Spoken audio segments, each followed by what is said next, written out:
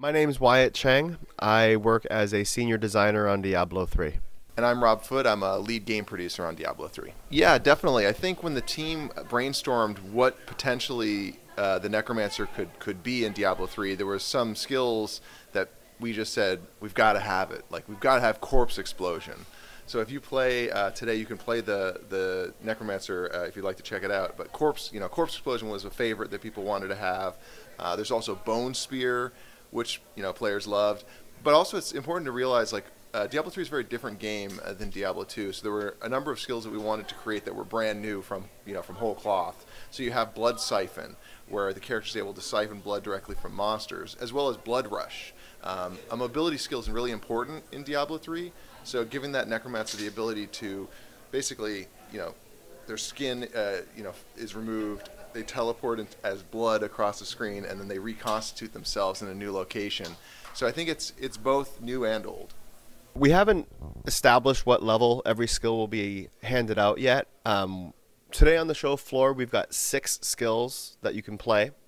We announced two more skills yesterday. We've got Blood Golem and Army of the Dead coming up, so that's eight skills. But in Diablo 3, every class actually has over 20 skills.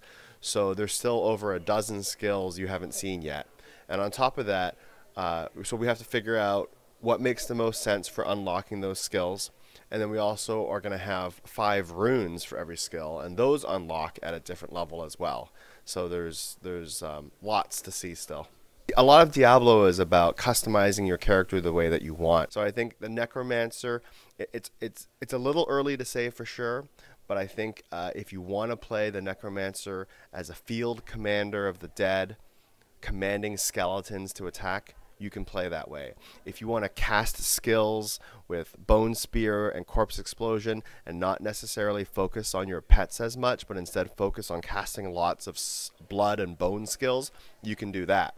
And hopefully, there'll be ways for you to play a support role as well. He has curses and so maybe those curses can be cast and help out your party as well. So it remains to be seen, but I think every class in Diablo you can play in a lot of different ways. I think um, right now everything's still very much in development. As a team, we're going to play it, uh, and there could be changes from what you see on the floor to what we finally ship with. Um, I think also it's important we put um, we put the, we will put the character in the public test realm so that we can get feedback from players. They help us to find bugs to ensure that the level of quality is very high uh, when we release the Necromancer. But ultimately, another thing that could change is runes. Runes are a great way where we can, you know, change how many skeletons potentially or what type of skeletons potentially. I think runes give us a lot of flexibility um, to make people have many, many options uh, for Necromancer builds. Uh, you know, I don't think we actually specifically call out his age. I would say it's important to realize it's not the same Necromancer uh, from Diablo 2, uh, nor is it the Necromancer Xul uh, from Heroes.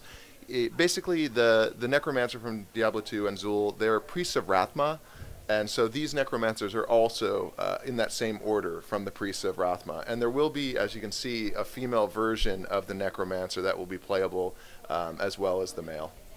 They get health oh no, sorry, they get uh, resource essence. Yeah. Essence. Um, well, I'd say the entire Necromancer. We, we, we work in feature teams, so the group of people that are making the Necromancer, uh, they are hard at work all day, every day at, at work, uh, working on the Necromancer. We also have other features that are in development uh, simultaneously, uh, sort of in parallel. So the team that's working on the anniversary event patch was separate from the Necromancer. It's important that people are focused on the on the single feature for the most part uh, that they're working on. Um, while there are some people that do cross cross work, uh, the teams uh, generally work on, on one on one subject area. Sort of a there's an aristocratic uh, appearance. There's also a, a, blood appearance. There's sort of like a classic look appearance. In terms of the functionality, I don't think we've established that yet. Um, it's something that we'd like to do sort of in collaboration with the community. We're going to go to PTR.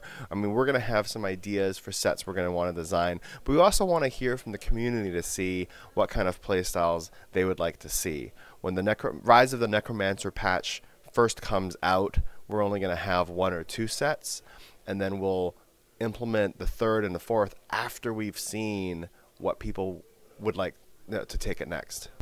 Well, it was good. We saw it coming. We knew it was coming. Uh, so I think the team brainstormed uh, last year, or sorry, this year. It's still 2016 about what we could do, um, and I think it was very interesting uh, the process because initially it was we're going to add the music to the game. And then, as more people got involved, the idea grew and grew in a good way, uh, and that's why we ended up with this idea of let's take all of Diablo 1 uh, and try to reimagine it in Diablo 3. All 16 levels, You'll be able to fight through four different bosses. So Skeleton King, uh, the Butcher, uh, Diablo, and Lazarus. And also, you know, it's it's got that filter over this over the screen for the graphics. So it's a you know we call it retrovision, but it'll look pixelated. It'll sound reminiscent. So if people played Diablo one, they will love it. And if they didn't play Diablo one, they'll still love it. Hmm.